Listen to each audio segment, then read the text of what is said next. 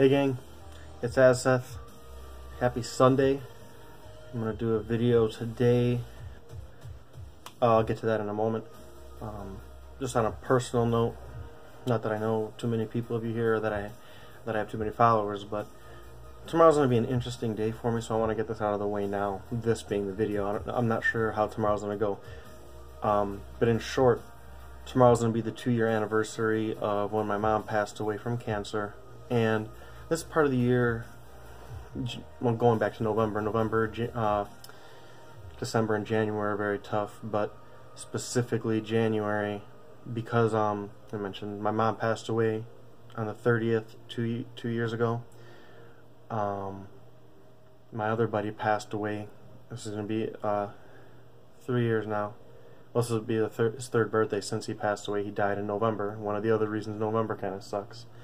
But um, buddy of mine passed away from heart-related condition. That's a long story.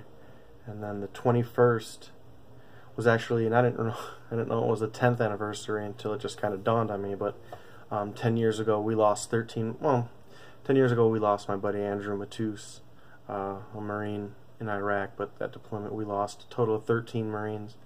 So um, November or January kind of sucks.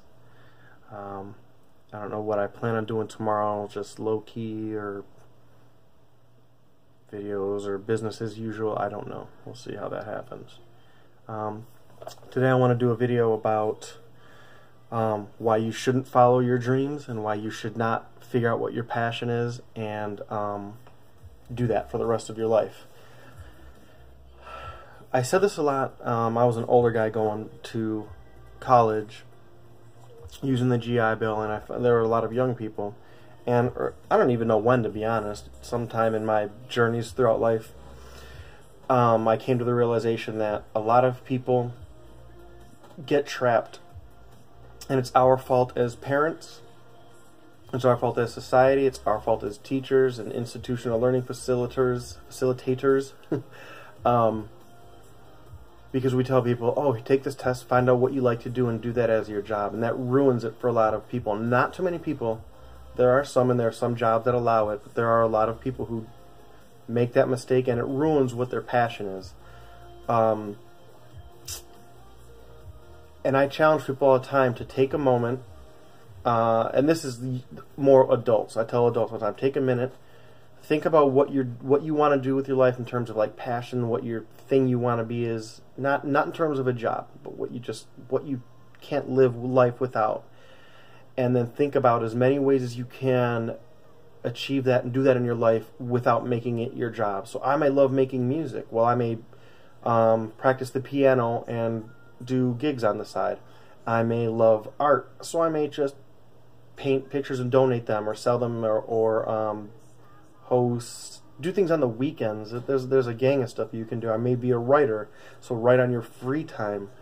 I may like to deal with kids and so oh i got to be a teacher. Well maybe i could just donate my time on the side. There's big brothers big sisters. You could foster people. You could this is to sound crazy to a lot of people but spend time with your family. You probably have a cousin a nephew and niece all these other people that you have access that you either can or will have access to and that would mean a lot to those people probably and i challenge people like that all the time. Think outside the box. A lot of people go into nursing because they want to help people. They could donate their times on weekends um, and, do all that stuff. Or start a do charity start your own charity work things like that. This, everything doesn't always have to translate directly and i like this i need to work in that uh, it ruins it. You know, I'm sure everybody knows someone who they hate their job being a nurse. They, they made a mistake. I know several people who have, for example, oh, I'm going to go and uh, do law enforcement. They go and do X amount of time going to school, getting degrees, and realize they don't want to do it anymore. Um, and that's commendable. That's that's okay. You're not pigeonholing yourself. But I try to, what I'm looking forward to, and hope I can achieve with my girls specific, is I want to instill in them the importance and reality of the fact that you can have your passion, but you need to be able to support the life that you want. Um, some of you know from my videos I'm severely anti-third wave feminist. I, it's garbage. I don't want my girls touching feminism, at least here. Or if they go do some somewhere where there actually are issues confronting women on a grand sta- stage, good for them. If they stay here, I want them to be think about things reality. What do you want out of life? I don't want my daughter to be a executive at Ford. I don't want my daughter to be a housewife, or I don't want my and and you know raising kids. I don't want my daughter to be a manager at McDonald's. I don't want them to be a rock star. I want them to do what they want to do, and come to that decision from a place that hopefully I can help to instill in them. Do you want to travel? Well, do you have to take a job that travels? If you want to travel the world, you don't have to find some job that does that. What you can do is find a job that affords you the opportunity to travel. Those are the kind of things I want to instill in my girls and I will if my daughters become single lesbians all their life, I'll be just as happy as if my daughter is a, a working woman who gives me four grandkids and then everything in between. The only thing I want my daughters to do is be happy with their life. That's what I want to instill in them, not my expectations.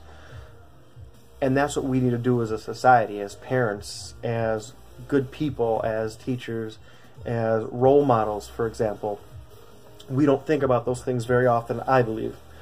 And if we do, it's in passing. It's not something that we adamantly push. So tell these people that you know. Don't do what you want. Don't don't let people push you into these corners where you need to do this or you're not going to be happy. I used to tell people all the time, social work. Social work is super admirable. You help you you are in a position to potentially help a lot of people. You also see some screwed up awful things that mess with you and then you work horrible hours and then you don't get paid a lot it's not that it's it's not admirable or not that it's I'm pushing people away, but some things are not for certain peoples. I love being in the Marines. Loved it. Wouldn't go back and change anything in that regard. But I don't think everyone should go and join the Marine Corps. It's it's not what life is. Um, I was talking to someone about buying handguns the other day for concealed carry. Similarly, I said, I like this gun, it's what I carry, but my gun is not what